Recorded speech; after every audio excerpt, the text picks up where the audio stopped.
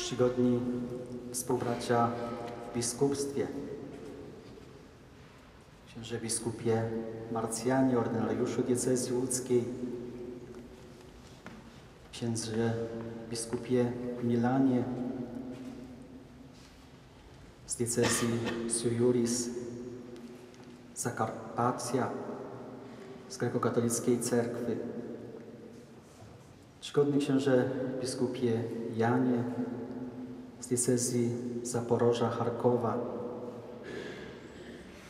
drodzy bracia w kapłaństwie,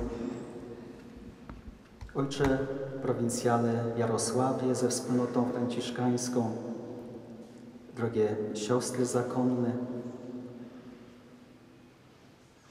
w sposób szczególny pragnę pozdrowić księdza prałata Ludwika Kamilewskiego, długoletniego i bliskiego współpracownika ojca biskupa Rafała.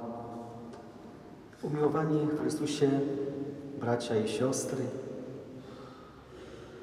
szanowni przedstawniki oblastnej rady,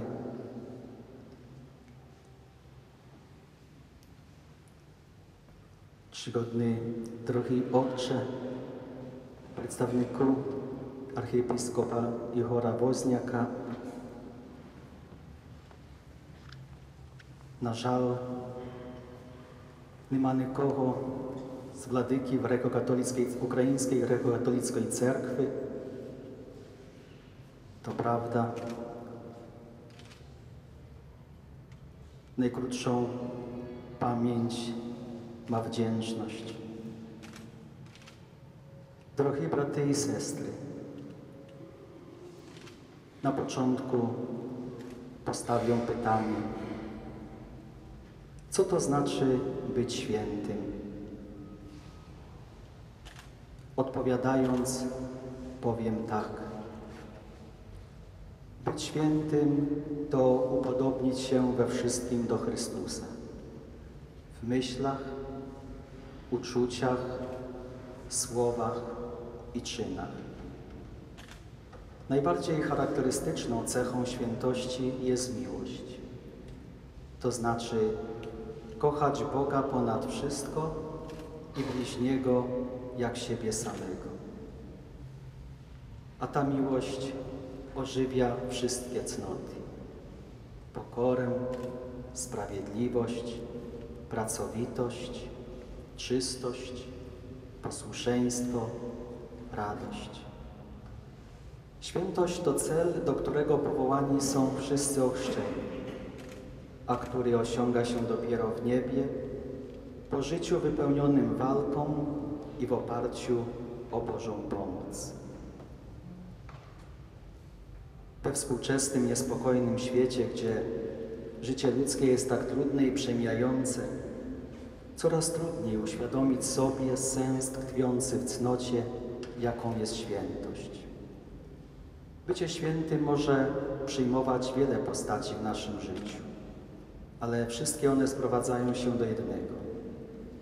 Czynić dobro, unikać złego. Jest to możliwe, choć czasami bardzo trudne. Trudność wynika z tego, że człowiek jest istotą grzeszną, która posiada wolną wolę i świadomość popełnionych przez siebie błędów. Nie ma osoby, która nie zrobiłaby czegoś złego. Zło jest ciągle obecne w naszym życiu. Ciągle jest prowadzona odwieczna walka między dobrem i złem. Ale są przecież osoby, które tę walkę wygrały.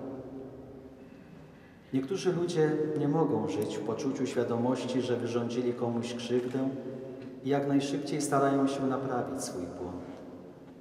Inni potrzebują czasu na wypowiedzenie takich słów jak przepraszam, żałuję, wybacz. Jednak wszyscy ludzie dążą do miłości, do akceptacji cech, które budują dobro. Świętość ludzka nie może istnieć bez tych wartości. Świętość to czynienie pewnego rodzaju cudów, rzeczy, których druga osoba by nie zrobiła, nie potrafiłaby się na nie zdobyć. Świętość to nasz własny wybór, nasza decyzja o tym, po której stronie kładki stoimy. Czy po stronie życia wiecznego, czy życia potępionego.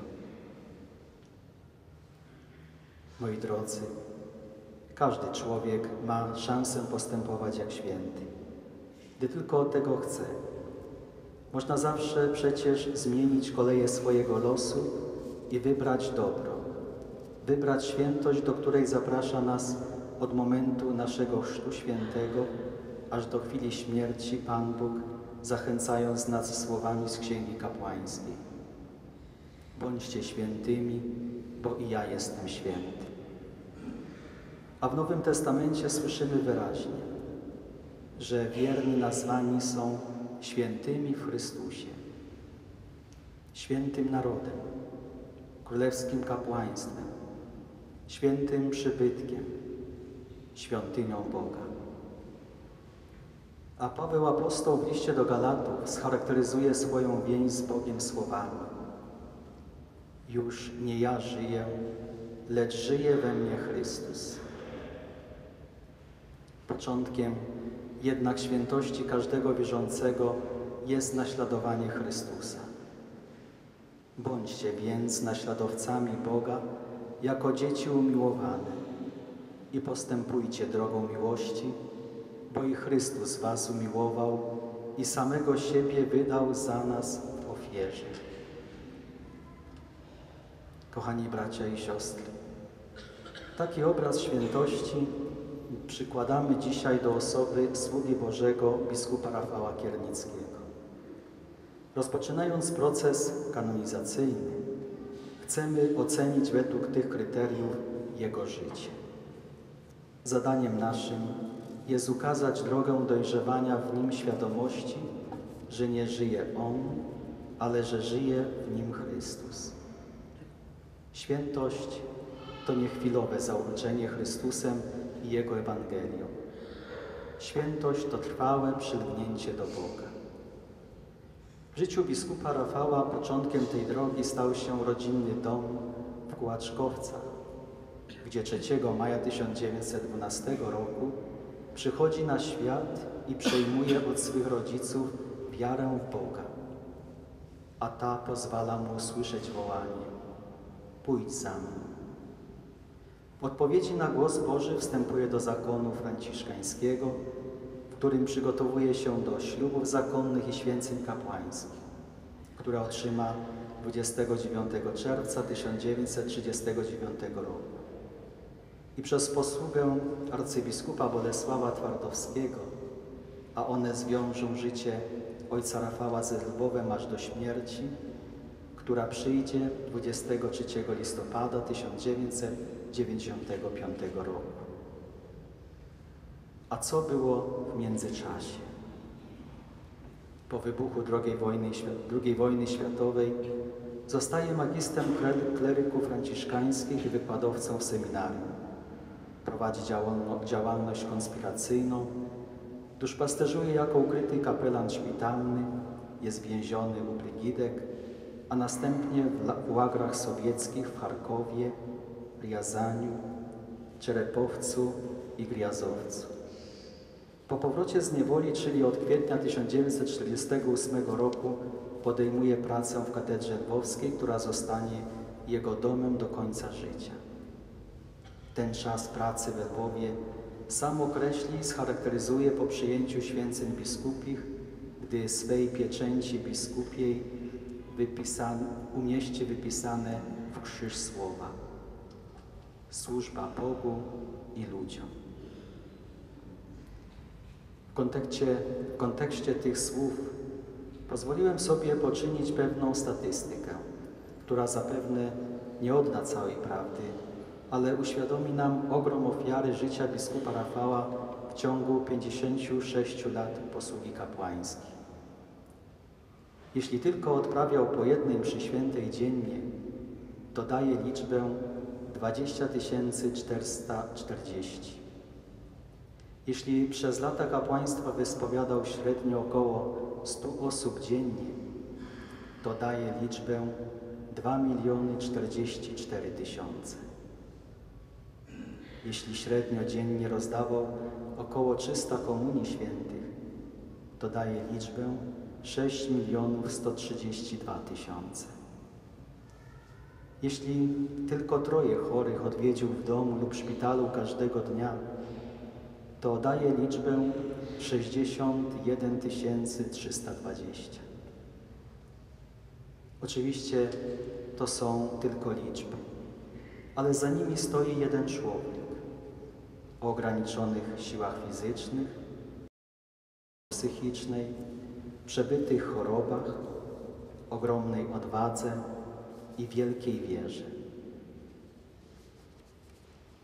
Kończąc, stawiam pytanie: skąd u niego ta wielka moc?